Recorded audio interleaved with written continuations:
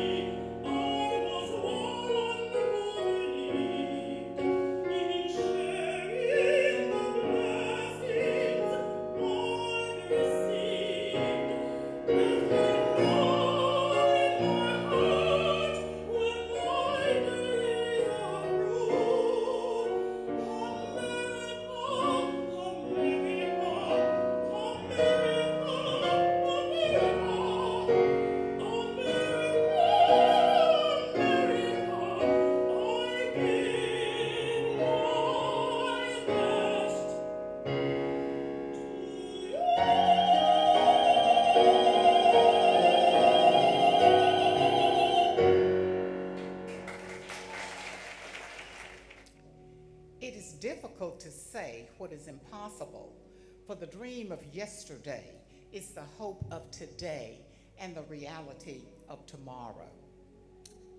It may well be that the greatest song has not been sung, the greatest book has not been written, the greatest mountain has not been ascended. This is your challenge. Reach out and grab it and make it part of your life. The basic thing is to keep on moving. The words of Dr. Martin Luther King. Let us pray. Dear Father, thank you for this day's journey that you have given us. Father, thank you for health and strength and, and peace of mind. And thank you, Father, for giving us the vision to continue the work that Dr. King started. Father, thank you for all of those who are gathered here to support this program and use me, Father, as a vessel. Decrease me so that you can be increased. And let us leave this place fortified to continue the dream set forth for us. These and many other blessings we ask in your Son's name. Amen. Amen. Dr. Johnson. First Lady Mrs. Lena Mae Johnson, Associate Pastors, Deacons, the Mount Zion Church family, virtual friends and family, my father's children. I am humbled at being asked to present a Black History Month message. Here we are in this unusual season a season of a pandemic, we find ourselves scattered, having virtual church, virtual school, home employment, social distancing, mask wearing, and all that dreaded isolation. We are facing increased suicide rates, increased social and economic injustices, racial disparities increased crime, death every day, sickness of the worst proportions, political and social injustice, escalating tensions about the Black Lives Matter movement, the George Floyd murders, the Breonna Taylor murders, the Ahmaud Arbery murders, and the list goes on and on and on. Amen. In the midst of all of this, God is in this storm with us. I believe that Dr. King's dream lives on now more than ever. So indulge me while I speak to you on the dream continues. And I sent messengers unto them saying, I am doing a great job so that I cannot come down. Why should the work cease whilst I leave it and come down to you? Nehemiah 6 3. Dr. Martin Luther King was one of the most influential black leaders of our time. He visualized a time when all of us, regardless of race or social status, would be treated equal. He lost his life advocating for this. He tried his best during his time to make that dream a reality. Dr. King said that if justice sleeps in this land, yes. let it not be because we help lull it to sleep by our silence or our indifference. Let it not be from lack of effort on our part to arouse it from its slumber the dream continues. We find ourselves in the year 2021. How can we continue this dream and how can we move ourselves forward? I want to share with you six ways we can keep that dream alive and move forward. The first is we must first and foremost seek God. Secondly, we must dare to dream. Thirdly, we must reestablish our system of pride and integrity as a race. Fourth, we must value ourselves. Fifth, we must work hard. And sixth, we must pull others up as we climb the ladder of success. First, seek God. God is omnipresent and near us always. He is in control of everything all the time. His power is ever present and he sustains us. We cannot make it without him. He said in Matthew 28 2, Behold, I am with you always to the end of the ages. God calls us to enjoy continued consciousness of his supreme greatness, beauty, and worth. God is worthy to be praised. He will lift up a bowed down head and ease a troubling heart. We need to cry out to God like the blind man of Jericho, Bartholomew did in Mark 10:47. And when he heard it was Jesus of Nazareth, he began to cry out and say, Jesus, thy son of David, have mercy on me. Isaiah 55 6 directs us also to seek God. Seek the Lord where he may be found. Call upon him while he is near. God is truly able to do all things and can sustain us if we trust and believe in him. Fear not, for I have redeemed you. I have called you by your name. You are mine. Yeah. Isaiah 43 1. Whosoever withdraw near to God must believe that he exists and reward those who seek him. Hebrews 11 6.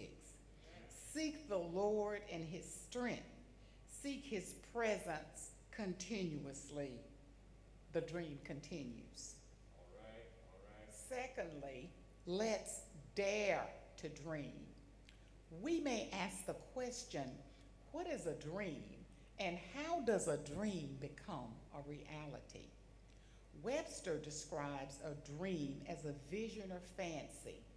Dr. King had a dream where he envisioned a day when everyone, regardless of the color of their skin or the content of their character, would be treated equal.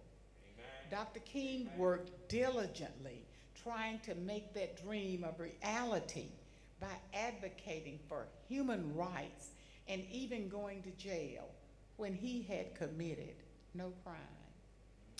We have to dream of the future in order to have something to work towards. We too have to dream of a day when our children won't be judged by race, but by character. Amen. We have to dream of a day when equal education will be available to all. We have to dream of a day when we will have equality on any and every job. We have to dream of a day when peace abiding young black boys won't get gunned down for wearing a red hoodie after dark, or an innocent black man gets shot in the back and killed for taking the scenic route through a new neighborhood. We have to dream of a day when members only and restricted covenants no longer exist yeah. and white supremacy is buried alive and dead. Yeah. We have to dream of a day when justice will be a reality for all of God's children we have to dream of a time when all of God's children can get together and say, What a time, what a time, what a time. Amen. The dream continues. Amen. Thirdly, we have to reestablish our system of pride and integrity as a race. In the words of Dr. King, our lives begin to end the day we become silent about things that matter. He further said, There is nothing more dangerous than to build a society with a large segment of people in that society who feel they have no stake in it at all, who feel they have nothing to lose. Our elders were self sufficient. They worked the fields, raised swine, poultry, beef, built their own homes, made their own clothes, and did not depend on anyone for their day to day substance. We as a race have lost our sense of pride and integrity. We have become so arrogant and entitled that we think the world owes us something. And here, I'm not going to be apologetic. We have a high high school dropout rate, a high teenage pregnancy rate, a high divorce rate, a high incidence of common relationships that are live-in relationships with no legal commitment, a high incidence of drug and alcohol abuse, and we have filled the prison systems. Amen. We no longer discipline our children or teach them right from wrong. Christian values, respect for self, or even respect for others. We spend too much time on Facebook and social media. Yeah. We spend our rent money on Louis Vuitton purses, acrylic nails, hair from the Asian hair store, the newest iPhone, and in the middle of a pandemic, we have packed out the nightclubs.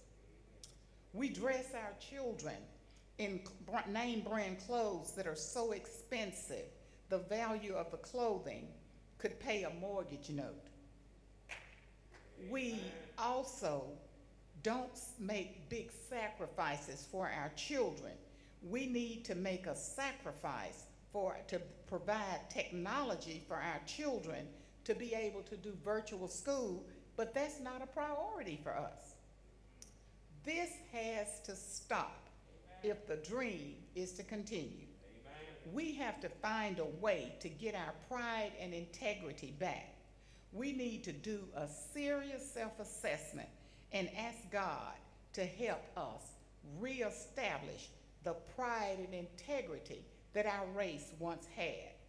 We need to strive day by day to find that sense of pride and integrity that our elders who have gone from time into eternity had. But the dream continues. Fourth, we must value ourselves. We have allowed ourselves as a race of people to become devalued. We have lost our ability to see ourselves as human beings who have dignity and self worth. We define ourselves by material things, by the things that we own. We identify ourselves by the iPhones that we carry, the name brand purses that we buy, the red bottom shoes that we wear, the vehicle we drive, the weave we wear, the clothes on our backs. We were created in God's image.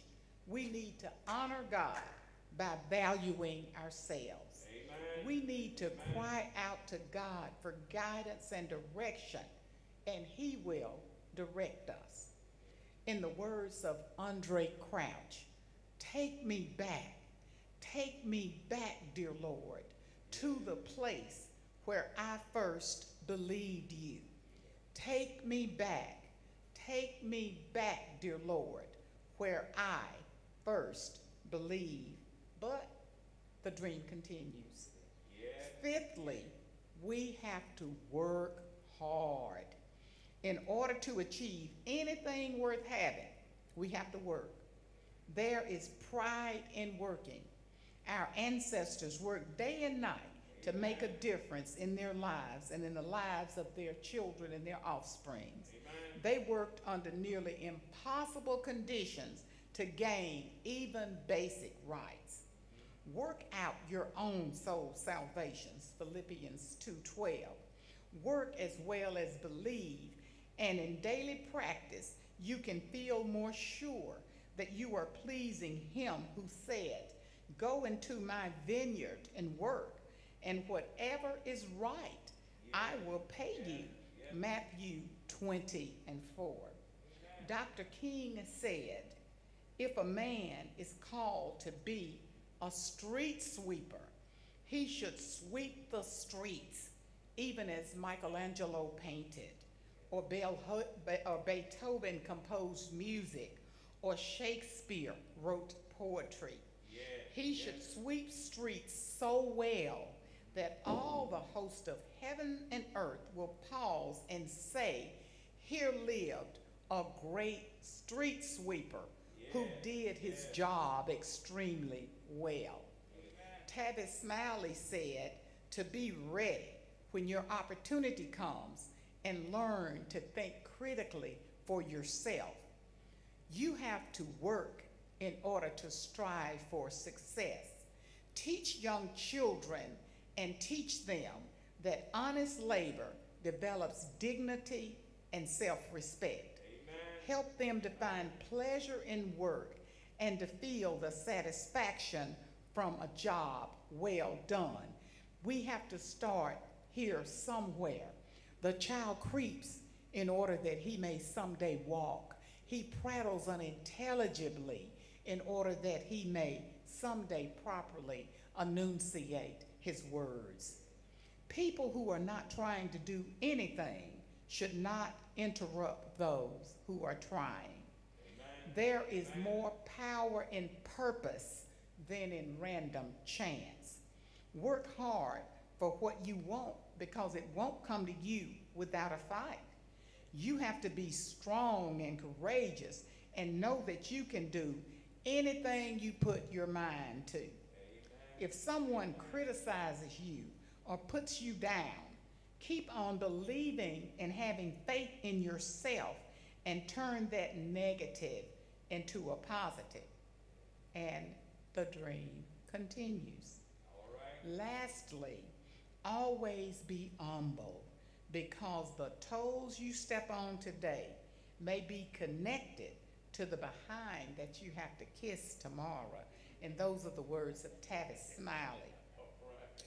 We must pull ourselves up to climb the ladder of success.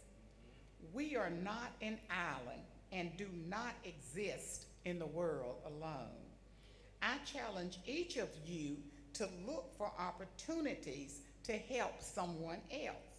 This is what the Lord wants us to do. He wants us to continuously stand in the gap for others. Amen. Open your heart to others be receptive and willing to go that extra mile for someone else. Offer to mentor a young person who may be interested in your field of study or your career. Pray for your neighbor and those in need. Ask God to give you whatever you need in order to be a blessing and to help others. Strive to always be a blessing to someone else the dream continues. In closing, I want to share a poem with you, and I want to leave this as food for thought. And as you go forward, I want you to really think about the magnitude of these words. It's titled, Lord, Why Did You Make Me Black? And it's penned by RuNett Nia Ebo. Lord, why did you make me black? Why did you make me someone the world wants to hold back? Black is the color of dirty clothes, the color of grimy hands and feet. Black is the color of darkness, the color of tire beaten streets. Why did you give me thick lips, a broad nose, and kinky hair? Why did you make me someone who receives the hatred stare? Black is the color of a bruised eye. When someone gets hurt, black is the color of darkness. Black is the color of dirt. Yes. How come my bone structure is so thick? my hips and cheeks so high? How come my eyes are brown and not the color of the daylight sky? Why do people think I'm useless? How come I feel so used? Why do some people see my skin and think I should be abused? Lord, I just don't understand. What is it about my skin? Why do some people want to hate me and not see the person within? Black is what people are listed when others want to keep them away. Black is the color of shadows past. Black is the end of the day. Lord, you know my own people mistreat me. You know that just isn't right. Why don't they like my hair or the way I look? Some say I'm too dark or too light. Lord, don't you think it's time for you to make a change? Why don't you redo creation and make everyone the same? God answered, Why did I make you black? Why did I make you black? Get off your knees and look around. Tell me what do you see? I didn't make you in the image of darkness. I made you in the likeness of me. I made you the color of coal from which beautiful diamonds are formed. I made you the color of oil, the black gold that keeps people warm. I made you from the rich dark earth that can grow the food you need. Your color's the same as the panther, known for her beauty and speed. Your color's the same as the black stallion, a majestic animal is he. I didn't make you in the image of darkness. I made you in the likeness of me. All the colors of the heavenly rainbow can be found throughout every nation. And when all these colors are blended well, you became my greatest creation. Your hair is the texture of lamb's wool. Such a humble little creature is he. I am the shepherd who watches over them. I am the one who watches over thee. You are the color of the midnight sky. I put the stars glitter in your eyes. There's a smile hidden behind your pain. That's the reason your cheeks are high. You are the color of dark clouds formed when I send my strongest weather. I made your lips full so that when you kiss the one you love, they will remember. Your statue is strong, your bone structure thick to withstand the burdens of time. The reflection you see in the mirror, the image looking back at you is mine.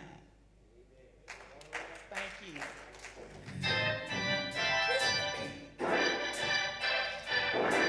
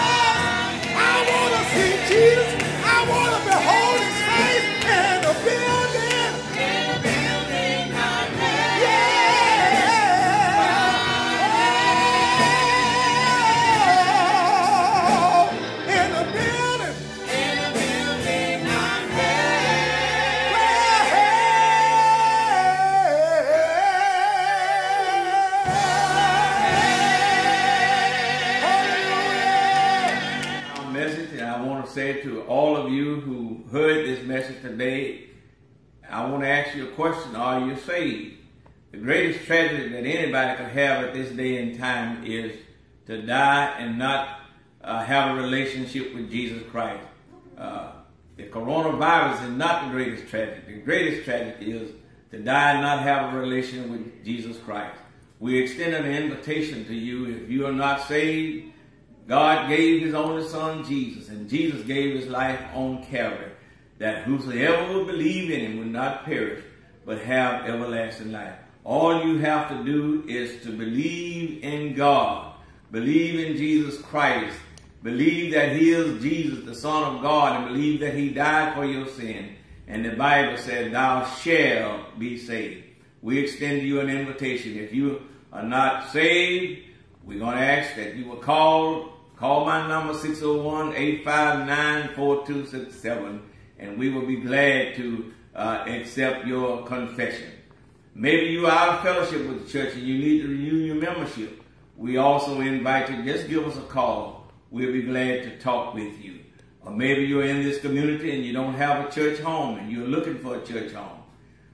Just give us a call. To the new safety standards, we encourage everyone to stay safe and healthy by practicing social distancing, staying at least six feet apart from other individuals, and washing and sanitizing your hands for at least 20 seconds. on social media for church news and more.